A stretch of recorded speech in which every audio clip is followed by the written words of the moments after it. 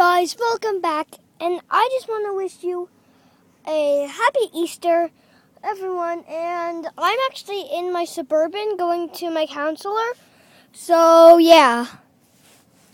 Sitting my throat there. But I just want to wish you happy Easter for all. And, yeah.